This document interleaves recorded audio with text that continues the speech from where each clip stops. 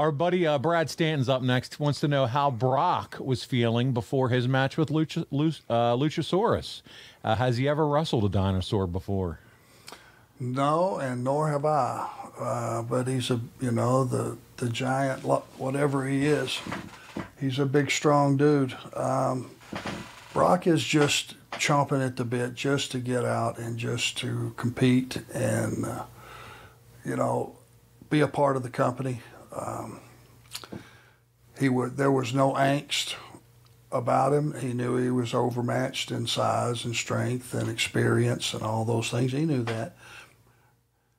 I never saw one look in his eye that was like, you know, maybe I shouldn't, maybe it's too soon for me to be in a spot like this. Never saw that from him.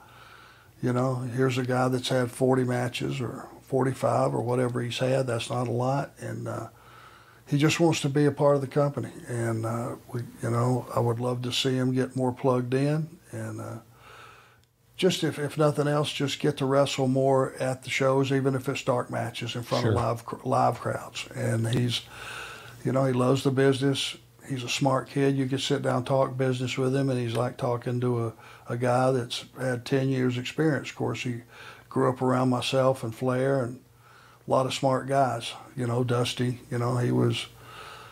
You know, he's heard the philosophy, and uh, he's been at our our table and ate dinner. And when we're talking, we talk business sometimes watching the show.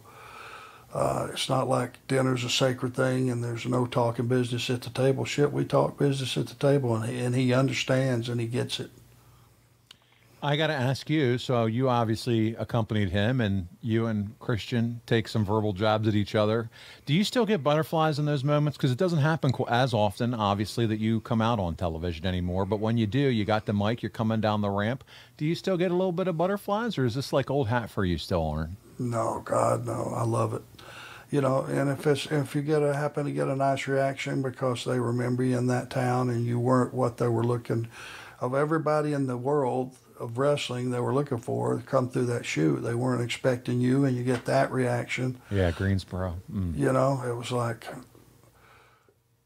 we live and breathe, and the reason we do this are the right reasons. Those of us that have always done it for the right reasons. There is no rush like going through that curtain taking your maestro stick and waving it around, and 20 minutes later coming back through the curtain and it being as loud leaving as you, when you went out through the curtain.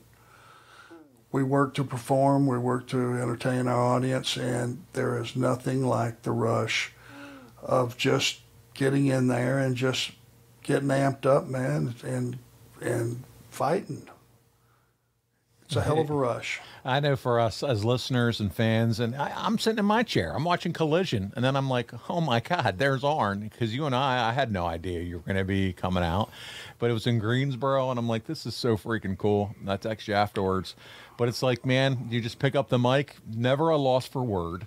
There's no brain farts or whatever the phrase is. Just the delivery is on, and I'm like, man, it's like he doesn't have to be on TV for months at a time, and he's just so natural and just comes off just so easy delivering those lines, man. And I was just curious if you still get the butterflies or no. It's just it's just easy at this point. I get the rush, but I'm not nervous in a negative way. You okay. know that I'm afraid I'm going to screw this up. It, it's if, if you don't have the butterflies, something's the matter with you. Absolutely. You know? Yeah. You know, because a live wrestling event, being out there live, well, even if it's a TV taping, it's just a, it's an incredible experience because everybody's playing off of everybody.